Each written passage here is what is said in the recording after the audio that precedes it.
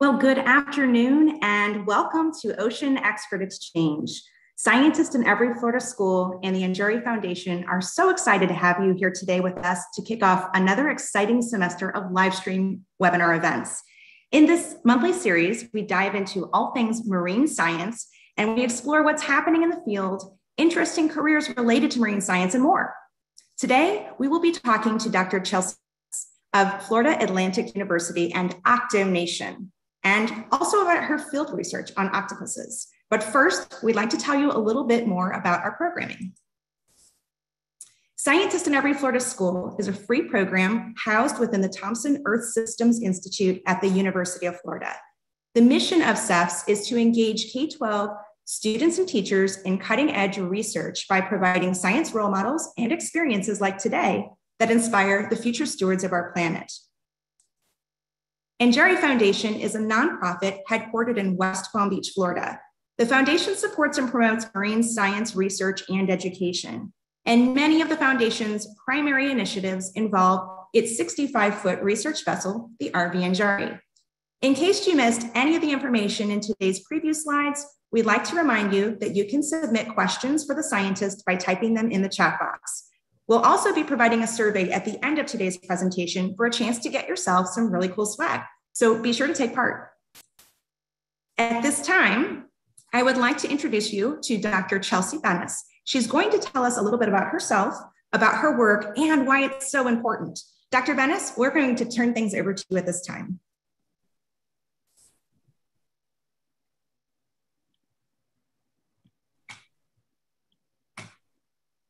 Thank you so much, Stephanie, and thank you very much for having me. I'm very excited to be here to talk about octopus fieldwork from behavior to bacteria.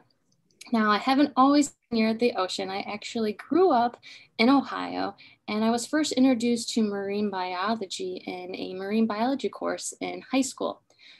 From there, I decided to go into freshwater biology and received a Bachelor's of Science degree from The Ohio State University. I then gained exposure in marine science through marine science internships and research assistantships. I did teaching at Sea Camp at uh, Big Pine Key in the Florida Keys as a science instructor. I then traveled up to Woods Hole, Massachusetts, where I was a research intern at the Marine Biological Laboratory doing cuttlefish research. I stuck on as a research assistant at MBL doing squid research. And from these experiences, I realized that I was very interested in animal behavior. From there, I continued animal behavior research for my master's work at Florida Atlantic University, looking at the sargassum community. This is a floating seaweed, a relative to the kelp, and why it's important habitat for fishes and other marine life.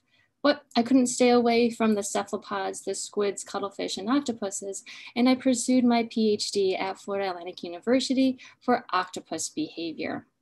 Now, through these experiences, from high school to all the way through my PhD, I realized I was very passionate about research, education, and scientific communication.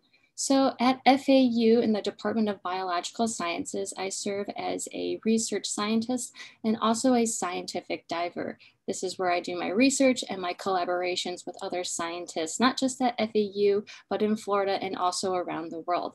A really cool part about this job is also serving as a mentor and advisor to undergraduate and graduate students that are interested in research. I also hold a position as the Assistant Director of Community Engagement and Programming at FAU Stiles Nicholson Brain Institute. And this is where we create, uh, create curriculum uh, for STEM fields, specifically neuroscience for middle school and high school ages. Again, you'll see this pattern that I just can't stay away from cephalopods. I'm the science editor and writer for an education nonprofit, Octo Nation. And so for today, I'm going to focus on my research. It's not fun sitting in the seat, so I'm going to take you on a virtual field trip to my study site where we're going to go diving. This is at Phil Foster Park Blue Heron Bridge, located in Riviera Beach, Florida. And it's a beautiful day in Florida, nice clear water, nice clear warm water and you get to see your first octopus. This octopus is out during the daytime foraging and if we switch real quickly we've actually got an octopus foraging during the night on rock and rubble substrate. Now from these two octopuses in this video, you can see that there's more than one species that occurs at Blue Heron Bridge and just in general at South Florida. So at Blue Heron Bridge, we have these two species. On the left is Octopus vulgaris, or the common octopus, and on the right is Macrotritopus defilippi. That's a scientific name known as the Atlantic longarm octopus. So we have these two species at Blue Heron Bridge coexisting in high numbers. And the big research question that I had was, well, how are these two species coexisting and not competing for resources? That, so that's a very large, broad question. So what I did is I broke that up into several smaller research questions to figure out what resources these two species were using to help them coexist. And so the first research question is looking at their spatial distribution. Where exactly do they live at Blue Heron Bridge? So at Blue Heron Bridge, Phil Foster Park, you can drive over the Blue Heron Bridge into the park, you gear up, and then you can walk directly into the water to start your scientific dives. Or if you just want to snorkel, it's a nice shallow area to do that. So on my research dives, I swim this entire area that's outlined in white. That's about a one mile swim and I look for octopuses. Once I find an octopus, it's a shallow area, so I'm able to safely ascend to my dive float, as you can see pictured here on the left, where I have a Garmin GPS device. And so after I find that octopus in its den, I ascend to the dive float and I mark that location where the octopus was found. And so I did this for about three years, marking locations of the common octopus and the Atlantic longarm octopus. Next research question was looking at the habitat. What's the substrate type that each species is using? And to do this, I use what's called a photoquadrat. So this quadrat is a PVC pipe square. It's a known area. And what I'm doing is I'm directly over an octopus's den. So if I took a picture, that would be what you're looking at over here. And that's an octopus right there. I'll take a picture of this, naming that the photoquadrat. So this is what I term the den habitat. Next, I take eight more photos in a big square around the octopus's den that I term the surrounding habitat. So I collect all this information from multiple common octopus and multiple Atlantic longarm octopus. I put this into a software program and that allows me to calculate the percentage of substrate of that's being used for the octopus's home. So how much sand they're using, how much rubble, how much rock. Next, I need to look at their activity time. So what times of the day are these two species coming out to forage and feed? And to do this, I have to know what the octopus is doing all 24 hours.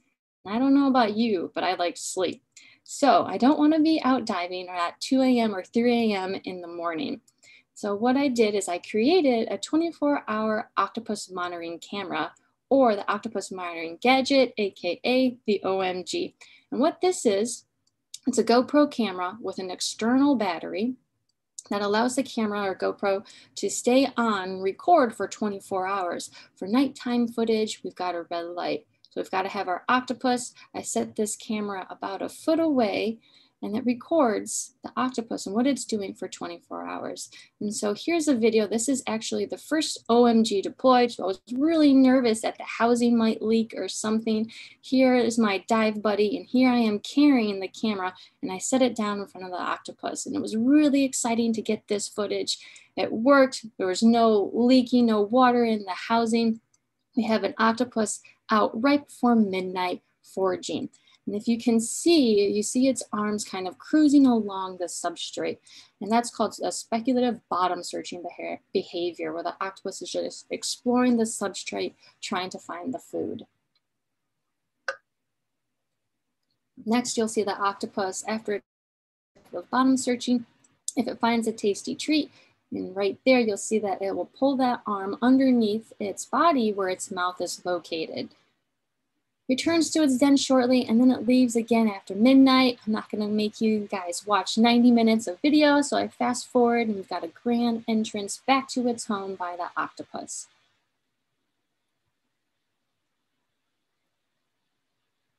The next research question was looking at the diets, what the octopuses are eating. So they may be eating different types of food to help them partition their resources, allowing them to coexist. And so here is one method. I use three. I'll talk about this one first, is collecting prey remains. And this is the most common method used for looking at octopus diets. As you can see here, I actually pulled these shells or prey remains away from the octopus's den. And I'm lining them up to take photographs of them so I can see them later. So octopuses will usually, after they're done eating, they'll discard the prey remains around their, their den opening to make it a smaller opening so predators can't follow them in. Octopus really wasn't a fan of me pulling those prayer remains around and said, if you're gonna check out my items, I'm gonna check out yours. So you can kind of see the size of the octopus compared to my camera. These are relatively small to medium-sized octopuses at Blue Heron Bridge. A lot of them are juveniles. And so that was one method used to collect diet information, collecting their prey remains. Another method is to actually follow the octopus. And this was the method most used for the Atlantic longarm. The Atlantic longarm here is a sand-dwelling species, and it doesn't leave prey remains around its den. So I actually had to follow it on foraging events. Sometimes these foraging events would be one, two, or even three hours long. You can see here that the video stops. And you can see that actually was able to capture the octopus capturing a crab right there. And after this octopus catches a crab, it doesn't go back to its den and actually eats on the go. And it continues to swim and forage and find the next prey item. So octopuses not only use their eyesight to find prey items, they also use their arms, their arm suckers. Their arm suckers can detect uh, touch or texture and the taste. So if there's a tasty treat on that substrate. And finally, the third method used was remote video. So remember the OMG was used to collect um, the activity times. However, sometimes I would always, I would sometimes see the octopus going back to its den with a food item so I was able to collect diet information from the OMG as well.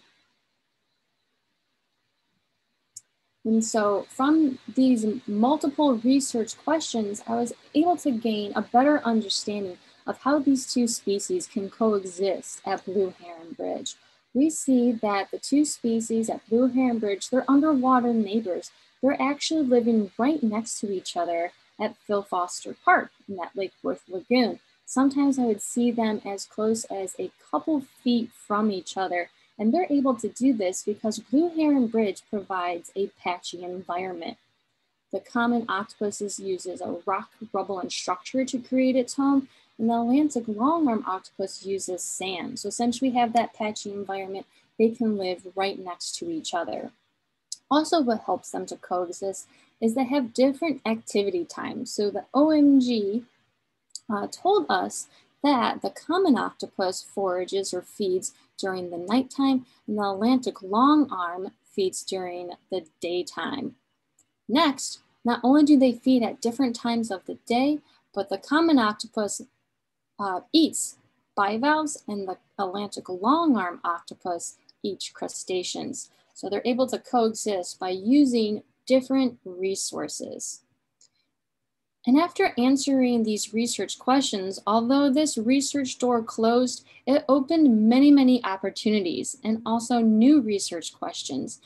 So the current research projects that I have going on and that I'm collaborating with, one of them is an octopus arm flexibility project. So while I was out in the field, I also collected foraging behaviors. So you saw that I was following the Atlantic longarm during a foraging event. I collected many, many hours of foraging behaviors of octopuses. And what we're doing now is we're using those foraging behaviors. So we have the foraging behavior right here, along with that substrate. We're using these foraging behavior videos as part of this octopus arm flexibility project, we're looking to see how octopus's arms are flexible, how flexible they are, and applying this to the field of soft robotics. So what we're doing is we're actually breaking down these complex behaviors that you can see the octopus doing here So an example of that is walk. We're breaking up these complex behaviors into different arm actions. So we're going through videos and we're scoring all these arm actions that the octopus is doing. So if you have your behavior walk, if you look at one action, that could be reach, highlighted in blue.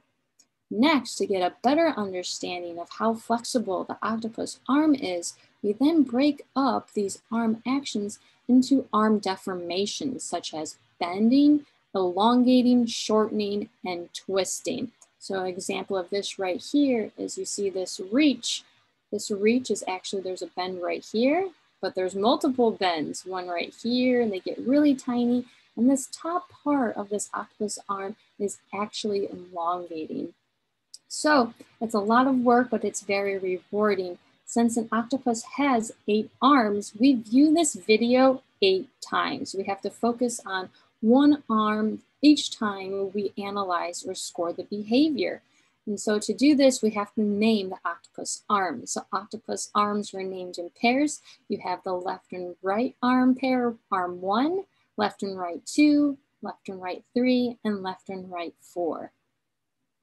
Next research project that I'm focusing on at Blue Heron Bridge is looking at the octopus skin microbiome.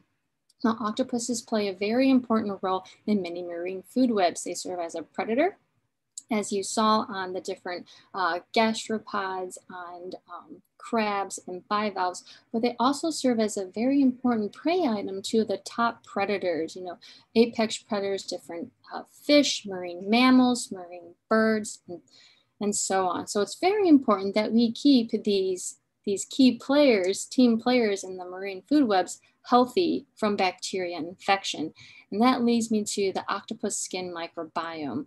They may have unique bacteria on their skin that keep them healthy.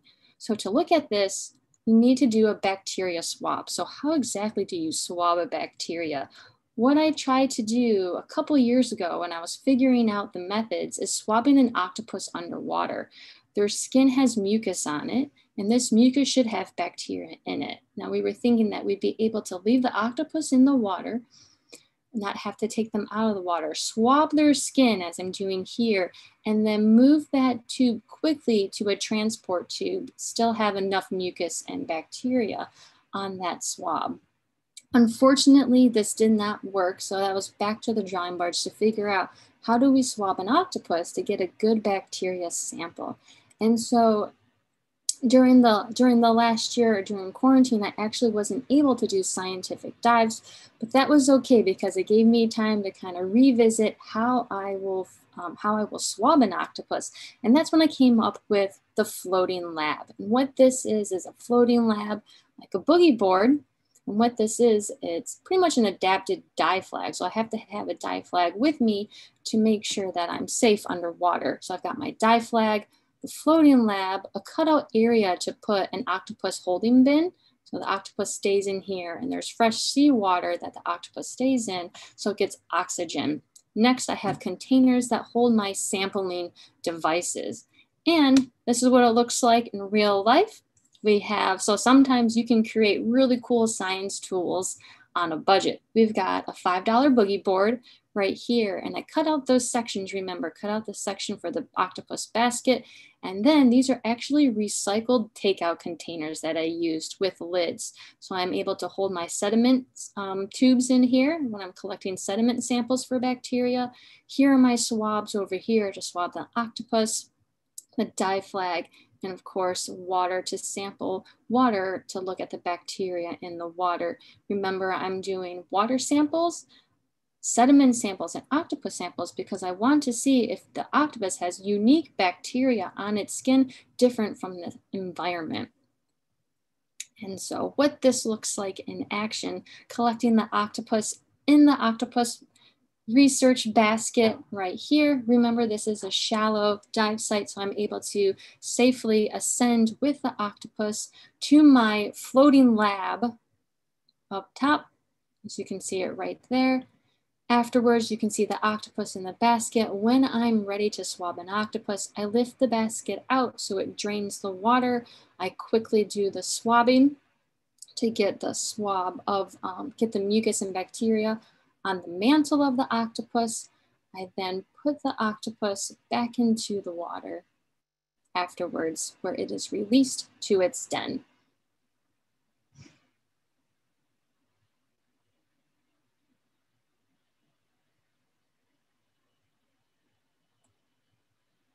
And that is a quick overview about my career path, the research that I've done, and the research projects that I have that I have going on currently.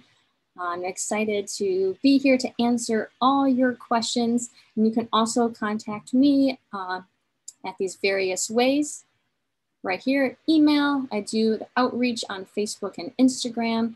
And also, you can find educational content if you're interested in neuroscience at the Brain Institute's iBrain community website and also octopus information at octonation.com.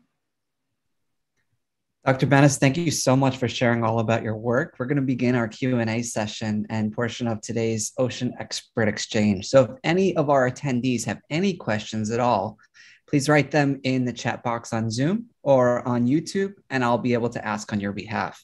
We have quite a bit of questions coming in so far, so I'm really excited to jump into it and ask you these questions. Um, our first one comes from Don, who says, Don is surprised that the Atlantic long arm octopus was out so long and wonders how optimal foraging theory comes into play with both of these species of octopuses. So th- that's a that's a great question, and it does look like that the octopus, um, the Atlantic longarm octopus, does forage during the daytime. The other octopus forages during the nighttime, and yes, sometimes they were out a long period of time. However, it wasn't all the time that they were out spending this time foraging. So usually, when octopuses will come out of their dens, find their food, and then quickly retreat you know, to avoid predators. A reason why that the, the Atlantic longarm octopus can stay out during the daytime where a lot of visual predators are out is because it's able to camouflage so well while it finds optimal food sources like those crabs it has to find multiple of them because of its it has a high metabolism so by using this camouflage I, ha- I didn't point out, but you probably saw it floundering or mimicking the flounder. And so it's able to forage during the daytime because it can mimic this flatfish and avoid predators. Thank you. Uh, Olivera asks if any types of octopus live longer than others. Yeah, that's a great question. So, in general, octopuses are relatively short lived. The two species that I study live about um, I'd say a max of a year to a year and a half. The longest lived octopus is the giant Pacific octopus that lives around lives around five years. However, I think there is the deep sea octopuses can live a lot longer. I think the max is 20 years, but still, in general, octopuses short lived, one to five years. There's also a second part there that's curious about why there's such a different lifespan between male and female octopuses. Yeah, there actually isn't. Um, they usually die, and that's just because of um, they both have relatively short lives. Just in general, both male and female die at around a year. So you'll usually hear that uh, female octopuses die after they after they lay their eggs care for their eggs and their eggs hatch. And that's because the mo- mother octopus stays with the eggs and she doesn't forage or feed. She uses all her energy to take care of her eggs and make sure that they're healthy and make sure no predators get through them. She dies after after that. That's relatively a year because she usually only produces that batch of eggs at the end of her lifespan. Same happens for the male octopus. He's just towards the end of his lifespan, and so he dies as well um, towards the end, the end of the year.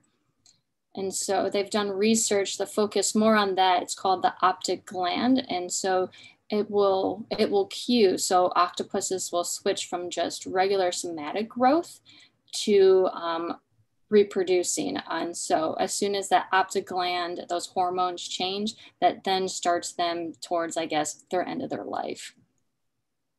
Our next question is, is Is it common for octopuses to escape your do it yourself bin that you put together there? Uh, for the the floating lab escape the escape the basket i've had a few that have definitely tried tried to climb out. And most of the time they'll they'll hang out in the basket but there is a few when i'll pick them up. They'll start to climb up. So it's kind of like i'm almost rotating the basket. I think of it as if you've ever had like a hamster a pet a pet or a mouse where you constantly have to move your hands when they're walking. It was i was almost doing that when i was rotating the basket when the octopus was crawling. Sure. Thank you uh, for our next question is what kind of bacteria did you find on octopus's skin?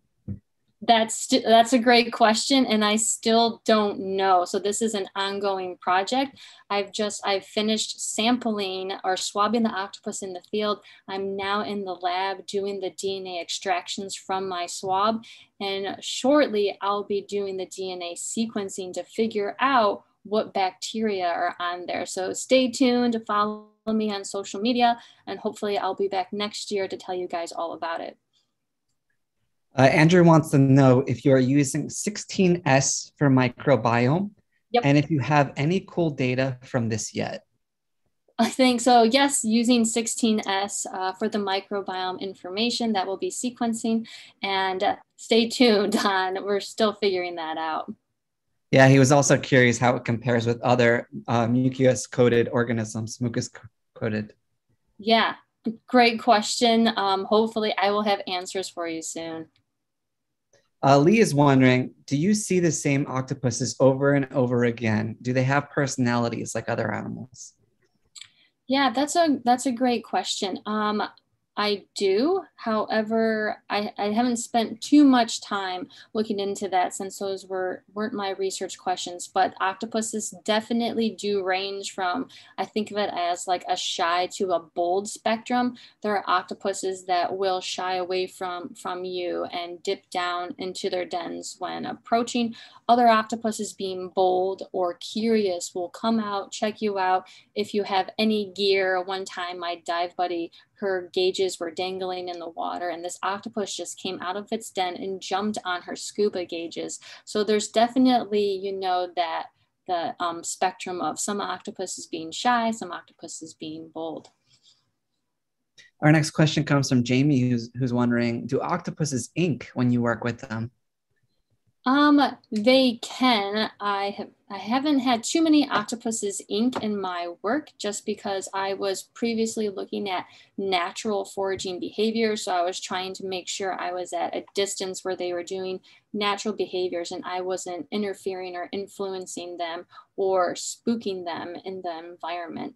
However, I have had a few um, ink on me, especially with this new microbiome project when I'm getting closer to them to capture them in the den. But I'd say it has to be less than five times. So I try really hard not to spook the octopus. Um, Olivera says she often sees octopus play with fishes and uh, wonders if there are any other animals octopus are friendly with. And for example, have you ever seen them interact with squid? Yeah, I've never seen I've never seen octopuses interact with squid. Um, I've seen usually I've seen fish following octopuses on foraging events. So it's very common for a number of fish to follow octopuses on foraging events and events. And the fish are trying to get, you know, what the octopus is getting. And so what the octopus will do is it will reach its arms down into a hole or maybe around a piece of algae and it will scare a crab out well then that fish wants to go for that crab kind of like a free meal. So sometimes you'll actually see maybe the octopus like get annoyed with the fish or will actually swat the fish away being like hey this is my food. Well what are you doing? So i've seen a lot of fish following octopuses on foraging events. I've also seen octopuses interact with each other. They're usually solitary animals. However, at Blue Heron Bridge, like I mentioned, there's a lot of octopuses there. And so another way to communicate with each other is using their chemotactile cues or their suckers. And so I like to call it the octopus handshake since they can sense who each other is and kind of identify who you are by touching each other's suckers. So sometimes they'll reach their arms out, do the octopus handshake, go the other way if they're opposite species, or sometimes they'll will actually be octopus fights. That's really fascinating. Wow. Um, Alana's wondering, do, do the octopus, are there octopuses that make it onto the IUCN list or are they threatened? Are they endangered? Where do they rank? Great question. Right now, I do not believe there are any octopuses um, on that are threatened or on that list, but there's still a lot of information about the population sizes that we do not know but we're gaining that information. Sometimes it's through you know the large fisheries or fishery boats when we can get that information. If there is bycatch on an octopus or octopus fisheries or relaying that information of are you know the population sustainable or not? Right now it looks like octopuses are doing okay. I don't think there's any on the threatened uh, threatened list Bob asks if during your dives at the bridge, you have observed what the DeLoaches, and I apologize if I said that wrong, DeLoaches refer to as nuclear hunting or a cooperative hunting behavior between species. Um, great question. I, I do not know. I don't think it's cooperative hunting when the fish are following the octopuses, but this is definitely an interesting question and a publication actually just came out about this cooperative hunting between octopuses and fish. And so definitely, I think more research needs to be done if it is the fish getting a free meal or if it's cooperative hunting, if they're helping each other out. Uh, Marilla asks you, have, have you thought about the research on the bacteria that live in symbiosis of the Hapalochlaena, sorry, uh, um, iolata.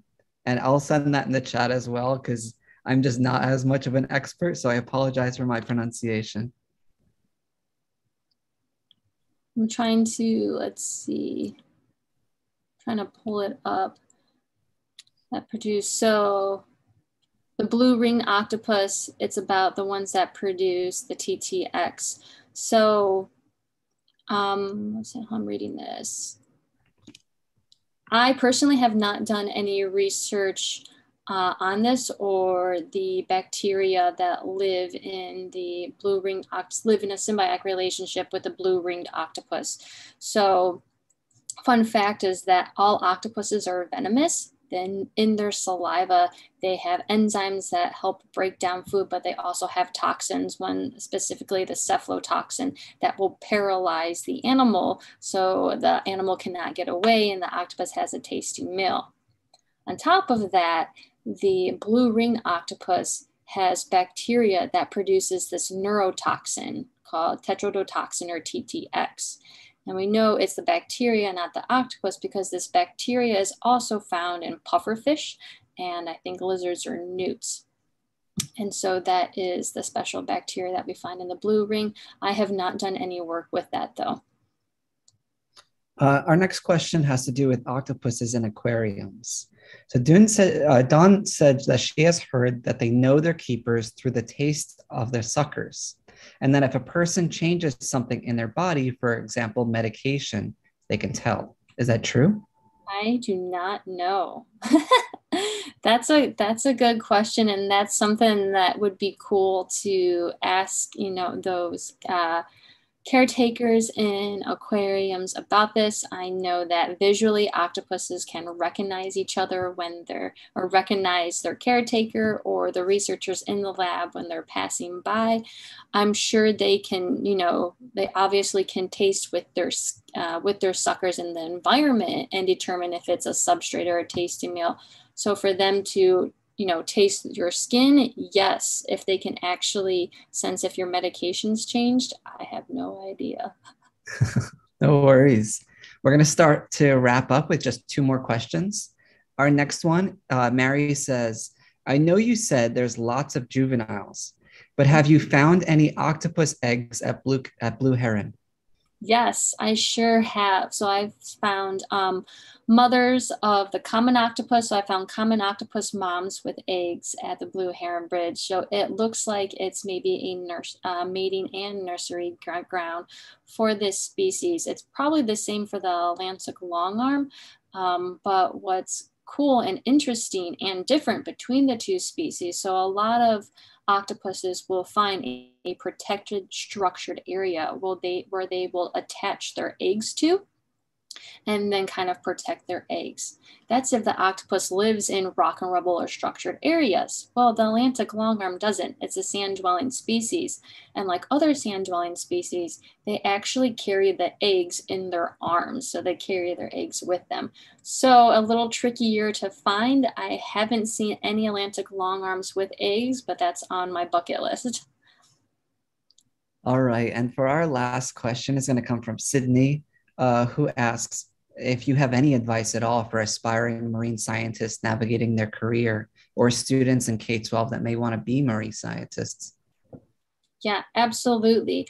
I'd say um, one piece of advice that I think is really important is getting getting that experience. And I really encourage if you can get experience, could be at a zoo, aquarium, um, local fish store or actually an internship at a science center, or in my case, it was the Marine Biological Laboratory, go for it and get that experience because that experience means means a lot. It teaches you, you know, the information that you need to know about maybe the environment you want to learn about, but also it, it also teaches you if you like teaching or research or maybe you like something else so gaining that experience also sets you apart from another person when you go to apply for schools and jobs everyone's taking classes let's see the extracurricular activities and internships you've done so that's my advice well, thank you. It has been an absolute pleasure to talk to you, to learn from you,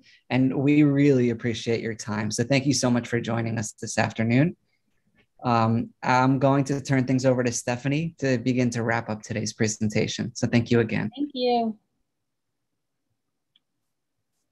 Thank you, Brian, for that. And thank you, Dr. Bennice, for sharing uh, your research with us today. Super enlightening and so interesting to learn about. If you'd like to take a look at the K-12 extension activities related to today's topic, they're going to be made available along with a recording from today's talk on the UF Earth Systems YouTube channel. And please take a moment to fill out the survey, um, which you will find in our chat box. Um, bear with me here. I can't get my mouse to move.